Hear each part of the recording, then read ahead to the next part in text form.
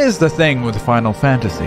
It lets you play however you darn want. Look at this guy. During the day, he's like, you fight, you fight, Oh, but at night he's like. There are many things to do in this game, but I am the best at all of them. But today I will attempt my hardest challenge yet. I will talk to other people and meet every kind of Final Fantasy player.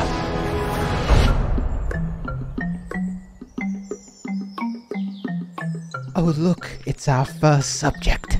Look at him, just fucking standing there. This is a sprout. So fresh, so malleable. Oh, they are cute. They're dangerous. And who knows where they'll be a year from now.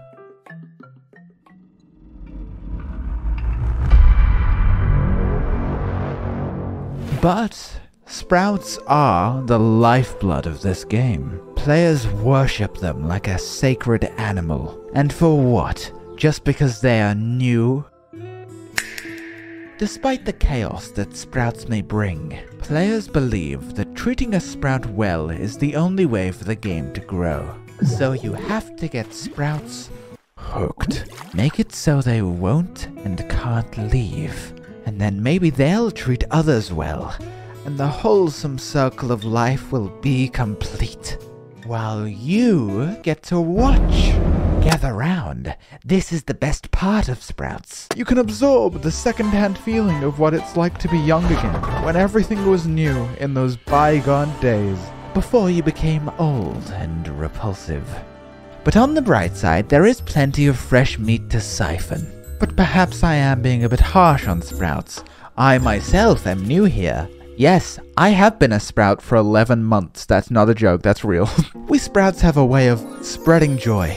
We are so full of overwhelming optimism, so enchanted by the new experience of running Praetorium, looking up to endgame players as if they're icons or deities. Wow, that's so cool. How do you get that armor? Wow. I hope I can be like that someday. Oh my god, he thinks my armor is cool. and maybe that's why people like Sprouts so much. Through a Sprout, one can see the world with a fresh, positive eye. Through a Sprout, one can relive their favorite moments. Or you could see their favorite character fucking die. And after all, Sprouts need your help.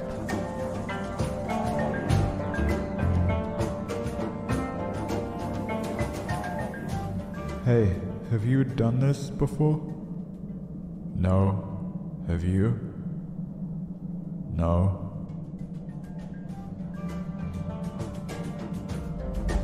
But before you go rushing to help, be warned. There is a dark side to certain sprouts. Okay, listen, you have to watch this cutscene. Hey, hey, no, no, no, no, wait, wait, wait, no, no, no,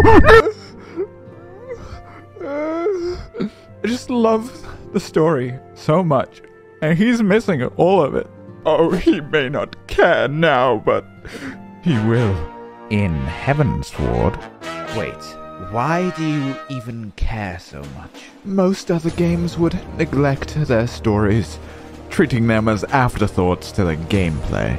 But in Final Fantasy 14, the story is the game. Notions of rushing to the end are gone. Content you would usually overlook now has purpose and value. There is so much optional side content that I usually wouldn't give a fuck about. But because of the story, my fucks are plentiful. But the story is more than just the words on a screen or the pages in a book.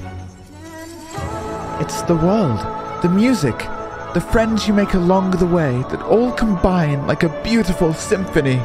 And that is the most important part, because what good is a story experienced alone? So this fucking thing is my best friend. Me and Nanamo go way back. I just feel like she doesn't love me anymore, man. Alright, Nanamo, you've had way too much to drink. Oh, warrior of light, where would I be without you? And where would I be without you, Nanamo? I vow to save every person, place, and thing in Eorzea. Warrior of light, we, we need your help. Please, lend us your strength. Oh, warrior of light, you've returned. And who's this fellow you've brought along? Don't worry, Alphinaud. I've got this covered. Me and Alphinaud here have saved the world together. And over that time, we have not only grown as friends, but as individuals. We've laughed together, we've, we've cried together, and we've grown from brazen young adventurers into true heroes of the realm. And only in a game with a 600 hour story can you really feel that attached. Isn't that right, Alphinaud?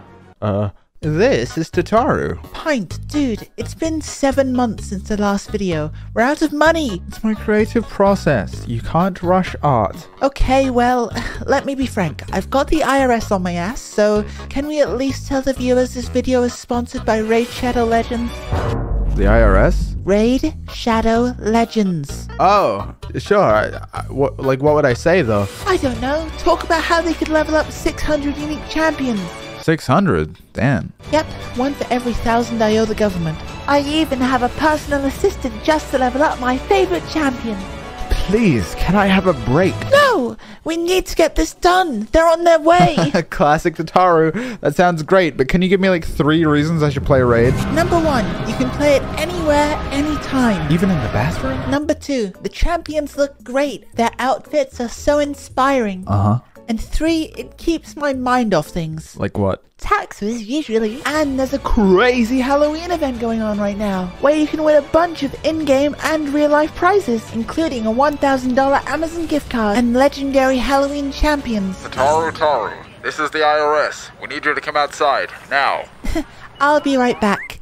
Wow, I can get all that by installing Raid and going to trickortreat.plarium.com. But only new players can win a prize. And if you haven't downloaded it yet, click the link in the description below or scan the QR code. And I'll get bonuses worth $30? We're talking 200k silver, an energy refill, an XP boost, one ancient shard, and a free epic champion, Vergis. And I'll find my rewards here. Wow. Hey, um, Pint, we gotta get out of here, man. Open the door, Tataru. Thancred, quick, end the ad. You're not going anywhere. No! Ad over. This is Krile, and I would sacrifice every single one of you for her. She's great. Hold on, hold on. Wouldn't telling me about Krile be a spoiler? But I like Krile. Me? Spoil something? Oh, I regret to inform you that it gets even worse. There's a much more dangerous quality a character can have besides just being likable. Being sexy. When a sexy character is at play, people start losing their minds. They hold no regard for the spoilers that might come. Nothing is more dangerous than G'raha Tia's belly button, or worse.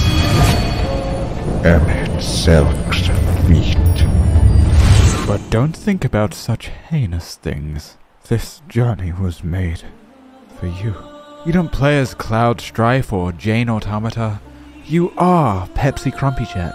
A story, an experience, a world built for you to be at the center of it all. Um, so what happens when you've like finish the story? What? Finish the story? What's happening? No, no, no, no, no, no, I'm not ready. This can't be it. I'm, I'm not ready. This can't be it. No, no, no, please. Please. This can't be it. I can't, please. I don't want to go. Damn, that sucks. Anyway. Attention! All you maggots are here today for one thing and one thing only. To raid! Melee, you're on Monk! And don't even think about playing Summoner. You must be the new recruit. What are you from Crystal? I bet you don't even have a purple parse. What? Oh, you'll do great. Alright, team. This is it. Tank stance. On! Healers, did you watch the guide? What? Ready! Charge! Six months. That's how long we've been here. We've lost many along the way, and we've faced countless wights. But that ends here.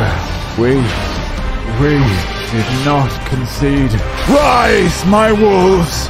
Crimson is the field. Hardened our flesh. Stand for glory and fight for victory! Okay, Voke this. Alright, and Feathering coming up. It's right on top of me, isn't it? Being in a raid of eight people means that it's not just about you, it's about us. It's about playing as a team, no matter how many times Haru Hisatsu from the Aether Data Center sits in a fucking mechanic to do 2% more damage! It's up to you to figure out how to make it work between you all. Which means your success is determined by how everyone else performs. So if you want to do well, you have to not only perform the best you can, but help others too. See, Haru, you do much more damage when you're alive. Keeping your morale high is essential. Bossing people around or getting upset is going to do far more damage to your raid than Feather Mommy over here. It's our duty to smile and say, It is what it is. Go again. And that's the kind of raider you want to be. There's this stereotype that raiders can only be meanie weenies. But you are just here for your own ego. To think that you're better than the others. you might be, but that gives you no right to be rude. I would never insult my white mage, for I have stood where he has stood.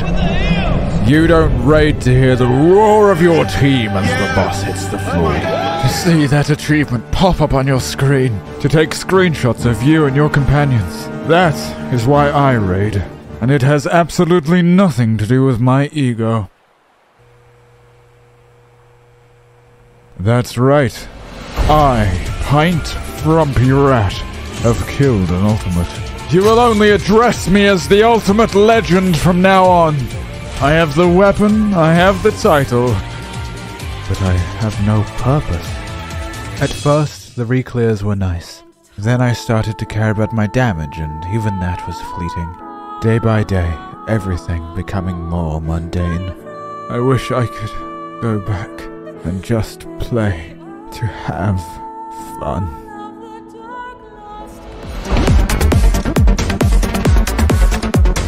Whoa! Yeah! Us role players are the slayest of all players, while most people are scared of social interaction. We do it daily for fun. You should come clubbing with us tonight. You could get some bitches, and then I think there's a Catboy IHOP down the road. Babes, you're like totally forgetting the fashion contest. Oh my god, this guy would win for sure. Yeah. Yes. Mm-hmm. Oh Yeah. no, he wouldn't win. Look at me. I'm radiant, immaculate, pristine. You are scum. People think role players are just casuals with extra steps. But some of us prefer to take it more seriously. Bitch, you stole my outfit. So you play through the entire game just to stand there and show off your outfit. Uh huh. And you find that fun?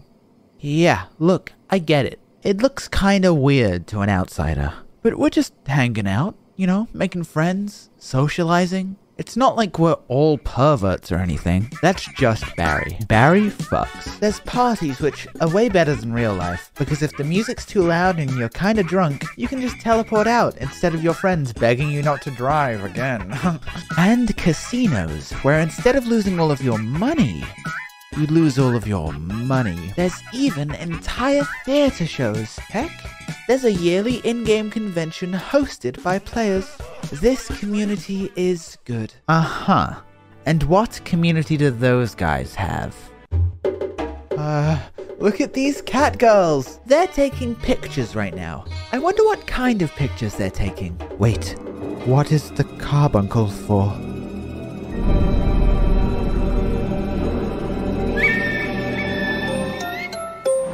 So it's just clothes. That's your end game. Well, that's definitely part of it, but there's other things like AFKing or housing.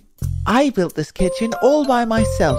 It only took me three weeks and it wasn't That expensive. Where did all of our money go? Here's a fun fact this drawer is actually 16 cups, just kind of fucking wedged together. If our friends need something, I rest well knowing I can make it. A maid cafe, a theater, I even made a Fucking Denny's. I love picking up new hobbies. I've been getting really into crafting, and I know that sounds mundane, but it's actually really rewarding, and it's something new. Goodbye, Moogles. See you tomorrow. I fucking hate those guys, holy shit. But if there's one thing that truly holds my passion, it's fashion. It's my creative outlet. I venture into all kinds of content just for the glamour I want. It gives me a reason to try everything. Oop, looks like I need a PvP for this one. Ugh, what a waste of time. Don't knock it till you've tried it. Here, what do you think? well, do you like it? Hmm. I do look pretty fly in red. Fuck it. Let's party. You know what? You people are alright. Well, I'm glad you warmed up to us. Everyone has their own way of living, I guess. You look at things from a singular perspective. It limits your experiences. Things have become rather stale. But this has been a breath of fresh air. Trying something you don't know you'll enjoy is a bit of a risk. It can be scary or even feel unnecessary. But that uncertainty is dramatic and fun. And I think that's the thing. There are so many different ways to play this game, and it gives you so many opportunities to try new shit. It actively encourages you to go out and do things you haven't done, just for the joy of the experience. But it's not just that. I've met so many different kinds of people. They've shown me things I didn't even know existed. I've grown close to them and learned to enjoy things that they enjoy. Experiences I'd have never had if I didn't take that step out from the norm and see what the world has to offer. It matures you, not just in terms of gameplay variety, but as a person. And for that, I thank you all for showing me so much. What's up, my grimbly bimblies? I'm gonna be playing Endwalker on Twitch, so follow me there. Also, the next video is not gonna take seven months. It's gonna take eight.